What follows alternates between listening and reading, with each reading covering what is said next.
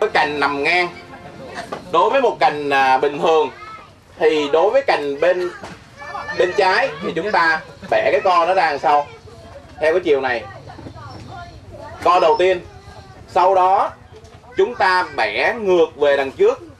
Nhưng cái co thứ hai là phải về đằng trước. Nhưng khi chúng ta bẻ về đằng trước chúng ta bẻ nó xuống một chút. Giả sử đây là cốt thân nha đó, thì cái co đầu tiên chúng ta đã chúng ta bẻ ra đằng trước. Nhưng cái co thứ hai là chúng ta bẻ ra con thứ nhất bẻ ra đằng sau con thứ hai bẻ ra đằng trước, nhưng chúng ta bẻ nó xuống một chút.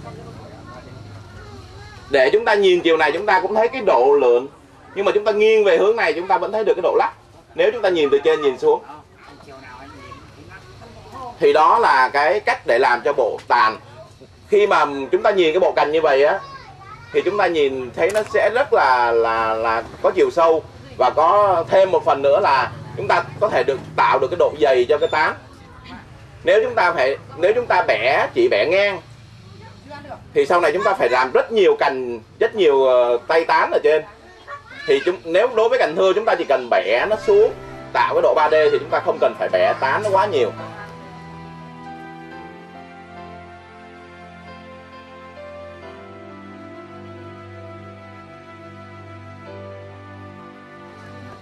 Tới con thứ ba chúng ta lại bẻ ra đằng sau và cũng lại phải xuống một lần nữa. Đây, giả sử như, nhưng cái co, mọi người chú ý cái này nữa là theo cái tỷ lệ của cái cây, các co nó phải nhỏ dần. Con thứ nhất to nhất con thứ hai nó nhỏ hơn chút con thứ ba nó nhỏ hơn nữa. Con thứ tư nó nhỏ hơn nữa. Thường là một cành chúng ta nên làm khoảng tới 5 co thôi. Làm 5 co thôi.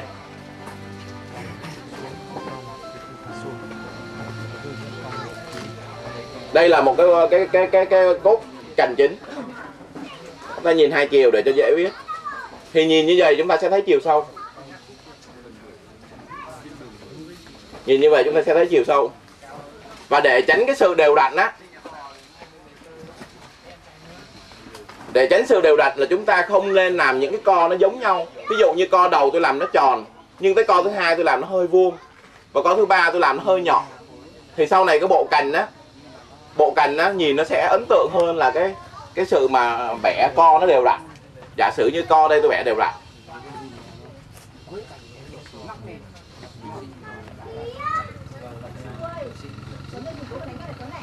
Nếu tôi vẽ nó đều đặn giống như cái hình xin này nè, sau này nhìn nó chán lắm. Thì chúng ta vẽ làm sao?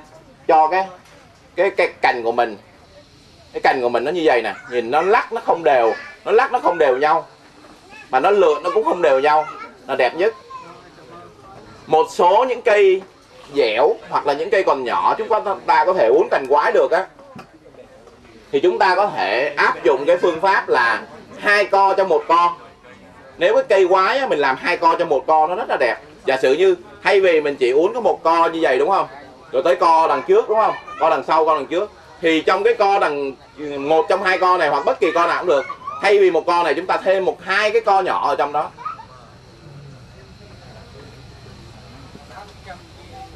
Chẳng hạn vậy.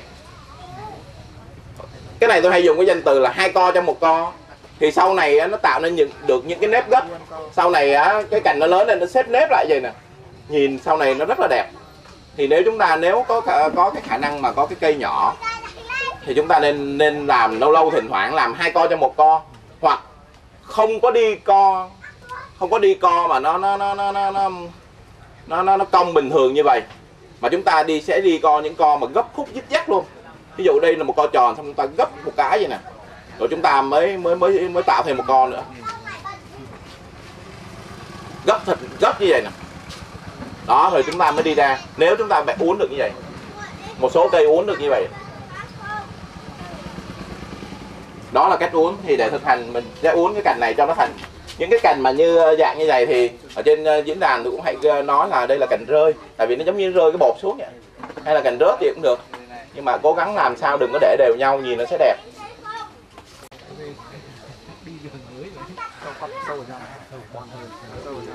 Không không lô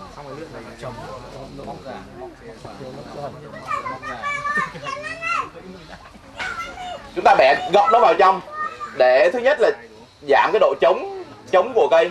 Thứ hai là chúng ta tạo nên những co quái, sau đó chúng ta mới quặt ra ngoài.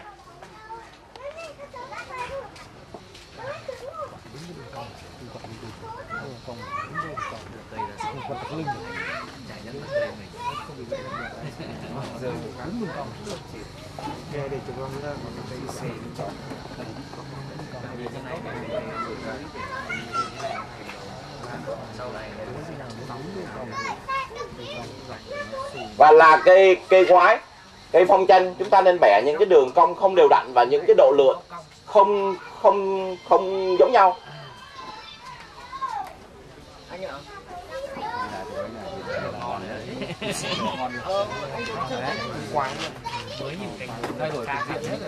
kích ngay đầu phố qua đây đến ngay đẹp có anh chị mà bên đây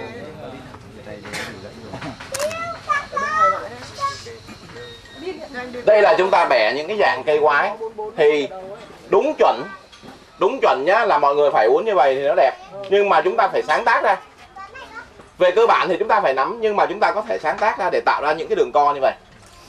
Thì sau này cây này nó mới đẹp được, chứ không thể nào nó nó nó để cho nó đơn điệu như vậy.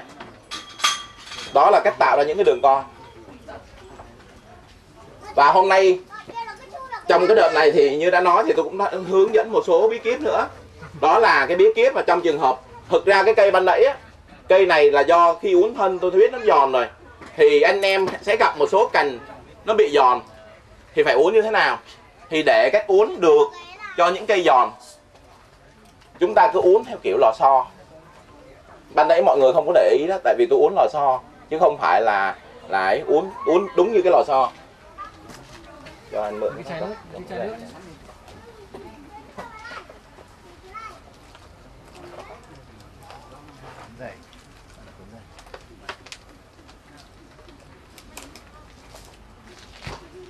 nếu mọi người không biết cách uốn và uốn để tránh gãy thì chúng ta uốn như lò xo. Uốn như lò xo như thế nào chúng ta uốn kéo cái lò xo ra thì này mọi người nhìn kỹ nha đây là cái lò xo đúng không? Sau đó đây có phải là co một không? Đây có phải là co hai không mà đây có phải là co ba không? Cứ đều đặn mà. Co một đằng sau co hai đằng trước co ba đằng đây. Và để cho nó nó 3D thì chúng ta chỉ việc kéo nó xuống tự động nó thành cái cành rơi. Đúng không?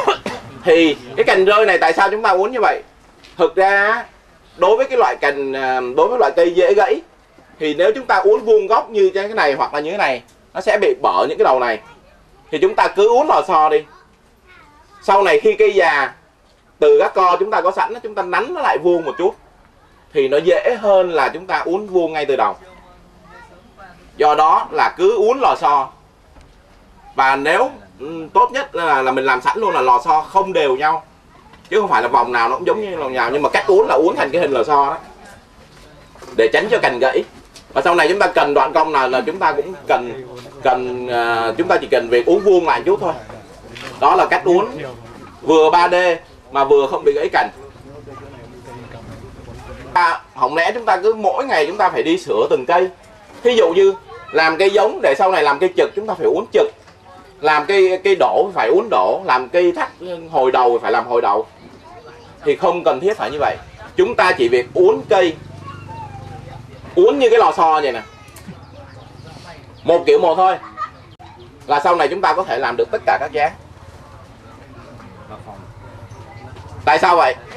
Bây giờ tôi thử thí dụ nhé bây giờ giả sử như chúng ta uốn một cái cây, chúng ta muốn làm một cái cây giống trực lắc, chúng ta phân khu ra, cây đổ riêng, cây trực lắc riêng, cây bay riêng chẳng hạn, thì chúng ta uốn như lò xo để làm một cây trực lắc.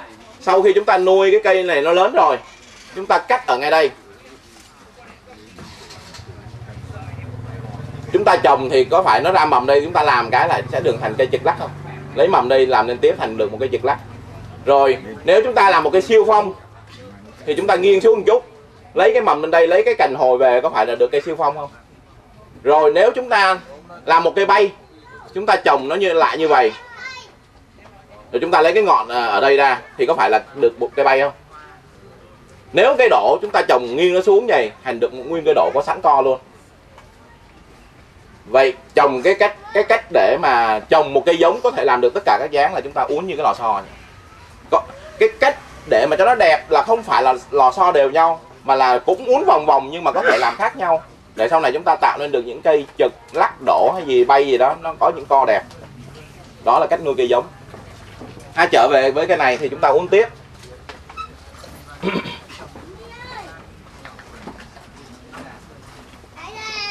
Đây là cái co của cái một cái cành à, cây cây cây này, cây quái nó cũng là cành rơi cây quái chúng ta để tạo nên sự ấn tượng. Đó là chúng ta quấn vào những cành chính. Để quấn à, à, đến tiếp tục những cành thư cấp. Để quấn một cành đó là cứ ở đỉnh của các co. Ở đỉnh của mỗi co chúng ta có một nhánh. Giả sử như cái, cái nhánh này. Cái nhánh này mai mốt đợi nó ra mầm. Giữ lại nhánh này. Làm ra một ờ, ở đây chúng ta sẽ có một nhánh, tại các co chúng ta phải đều có một nhánh. Do cây này nó không có, cây này nó không có nhánh thành thử.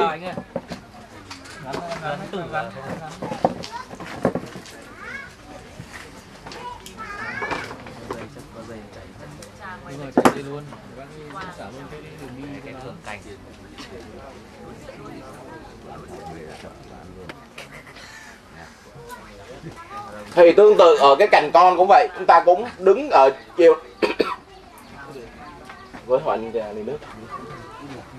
Ở chiều uh, chiều trực diện với cành rơi. Chúng ta cũng cái co đầu tiên chúng ta cũng đưa ra đằng sau.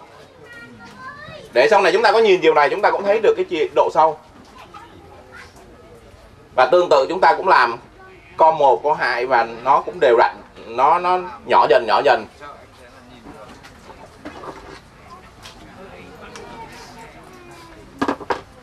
Tại các định mọi người nên nhớ là tại các định đều phải có cành. Ví dụ ở đây có định ở đây có định thì ở đây cũng phải có một cành nữa.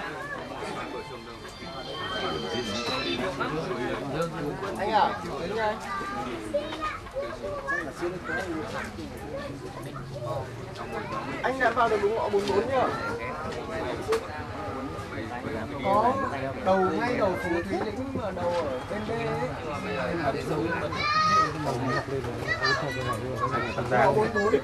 anh anh nhìn từ đây vào nhá từ đây vào vào khoảng khoảng bên tay phải ở đây tại các tại các đầu cành, chúng ta phải có, tại các đầu co chúng ta phải có một cành. Anh hỏi dân ở đấy này phố Thùy Lĩnh nha ở ờ, ngay chỗ bờ đây đi xuống ngõ 44 ở giữa ở giữa hai đoạn co. Ở giữa hai đoạn co mọi người chú ý nha. Ở giữa hai đoạn co chúng ta nên để một cành. Cái cành đó để làm gì? Cái cành đó người ta gọi là cành đuổi. Để làm gì? Để chúng ta tạo nên cái độ dày cho cái bộ cành. Nếu chúng ta làm vậy không nhìn ở đây vô nó chống lốc à. Nó sẽ bị hở cái lưng. Thì chúng ta ở giữa hai cái đầu co chúng ta phải có một cái cành để tạo nên cái độ dày cho cành